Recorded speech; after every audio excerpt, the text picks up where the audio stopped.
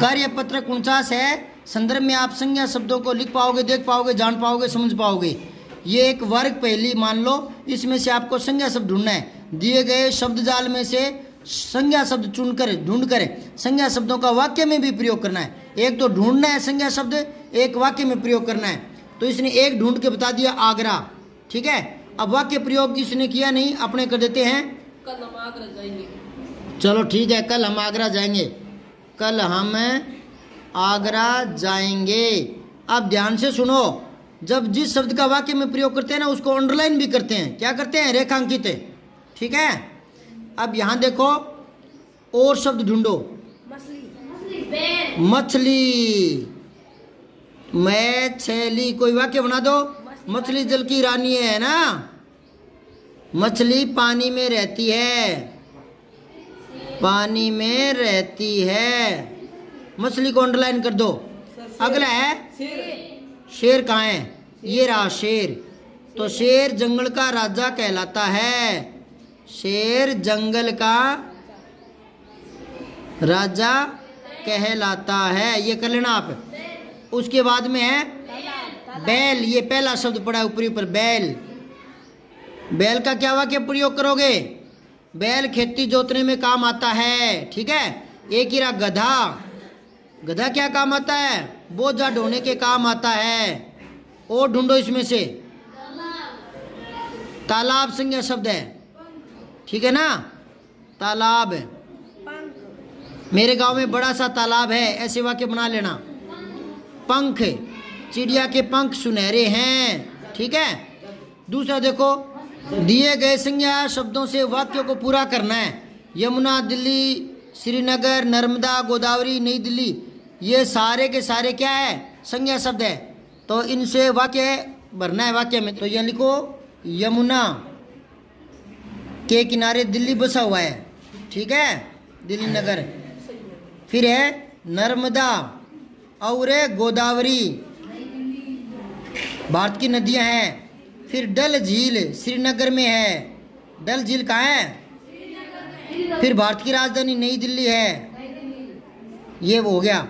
तीसरा देखो, जातिवाचक संज्ञाओं में से सही संज्ञा सब चुन करके नीचे लिखे वाक्यों को पूरा करना है। तो ये जातिवाचक संज्ञा है, किसान, हाथी, वृक्ष, शहर। ये चारों क्या है? ये चारों क्या है? जातिवाचक है। अब अगर मैं शहर की जगह लिख दूँ, जयपुर तो व्यक्तिवाचक। समझ गए? शहर की जगह मैं लिख दूँ? दिल्ली तो व्यक्तिवाचक। अच्छा हाथी हाथी का कोई अगर स्पेशल नाम हो, है ना, कोई रख देते हैं, कई बार अपने गायों को नाम रखते हैं ना घर पर तो वैसे तो तो वो क्या हो जाएगा? जैसे काम देनु गाय तो वो व्यक्तिवाचक हो गया, सीधा ही गाय, जातिवाचक हो गया। किसान का कोई नाम रख दूँ? राम स्वरूप किसान है। तो राम स्वरूप क्या हो जाएगा? व्यक्तिवाचक। जंगल का सबसे बड़ा पशु क्या है? आती है। लकड़ी वृक्ष से प्राप्त होती है। कोलकाता भारत का प्रसिद्ध है? शहर है। किसान खेत में हल चला रहा है। समूहवाचक संज्ञाओं को चुनकर वाक्य में पूरा करना है। तो ये छत्ता, श्रृंखला, दल, काफिला, ये समूहवाचक संज्ञा बता दी इसने। वैसे तो समूहवाचक नहीं होती है जातिवाचक में ले लेते हैं। ये समूहवाचक अंग्रेज़ी के हिसाब से भेद किया हुआ है। अंग्रेज़ी में संज्ञा पाँच प्रकार की होती है, हिंदी में तीन ही प्रकार की होती है। व्यक्तिवाचक, जातिवाचक, भाववाचक। तो इनको जातिवाचक में ले लेते हैं। चलो अब देखो, मधुमक्खियों का छत्ता। छाता नहीं, छत्ता। ऊंटों का काफिला। ठीक है? और पहाड़ों की श्रृंखला। और डाकुओं का दल। कार्य पत्रक पचासवा देख लो। वाक्य शुद्धिकरण और कथन विश्लेषण कर पाना सीख पाएँगे आप। वाक्य शुद्धिकरण। थोड़ा एक यहाँ देख लो। शुद्धि जो होता है ना, वाक्य शुद्धि तो उसमें छोटी धी आता है। और शुद्धिकरण में धी बड़ी आ जाती है। दिए गए वाक्यों को सही क्रम में लिखना है आपको। परिधि पढ़ती कविता है तो परिधि कविता पढ़ती है। रानी जाति से, बस बाड़ बाड़मेर से। तो क्या करोगे? हाँ रानी बस से बाड़मेर जाती है, बस से बाड़मेर जाती है। रेलगाड़ी सुहाना का सफ़र होता है। हाँ रेलगाड़ी का सफ़र सुहाना होता है। रेलगाड़ी का सफ़र सुहाना होता है। में बहुत अनाज घरसाना है होता। घरसाना में बहुत अनाज होता है। यू लिखो घरसाना शहर का नाम है। घरसाना में बहुत अनाज होता है। सही करो इसको, उल्टा लिख रखा है। अंशी जून को उनतीस जन्मदिवस है, मनाती। तो क्या करो इसका? अंशी करता पहले आ जाता है। अंशी उनतीस जून को जन्म दिवस मनाती है। दिवस मनाती है। ये आपने गह गलत करके उसको सही कर लेना। गह को क्या करोगे?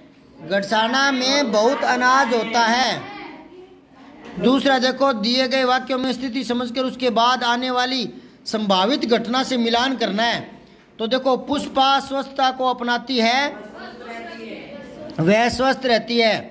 ताराचंद विद्यालय बहुत कम आता है, वह फेल हो जाएगा। ममता अपनी बच्ची को घर पर भी पढ़ाती है, वह पढ़ने में होशियार है, ठीक है?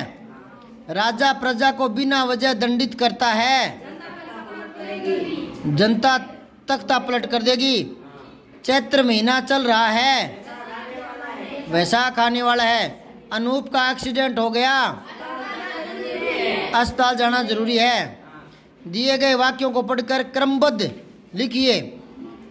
वह भी अध्यापकों का सम्मान करता है। मदन सुबह जल्दी उठता है। नहाने के बाद खाना खाकर विद्यालय जाता है। वह सात बजे नहाता है। इसलिए अध्यापक उससे बहुत प्रेम करते हैं, वह मन लगाकर पढ़ता है। तो इसने बात तो बहुत सारी बता दी, पर आगे पीछे कर दी सारी बातों को। तो इन बातों को क्रम से जोड़ना है। कैसे लिखोगे? सबसे पहले कहाँ से शुरू करोगे? मदन सुबह जल्दी उठता है। ये पहले नंबर पर लिखोगे। मदन सुबह जल्दी उठता है, ठीक है? फिर दूसरा है, वह सात बजे नहाता है। फिर तीसरा है, नहाने के बाद विद्यालय जाता है। फिर पांचवा है, वह मन लगाकर पढ़ता है, इसलिए अध्यापक उससे प्रेम करते हैं। ये सारे दोबारा ढंग से उतार लेना, ये नीचे खाली जगह पड़ी है। फिर चौथा देखो, आप सुबह आठ बजे से दस बजे तक क्या क्या काम करते हैं? ये ये आप अपने हिसाब से लिखना, मैं कल चेक करूँगा। ठीक है? सब्सक्राइब करके बेल आइकन ज़रूर दबाएँ।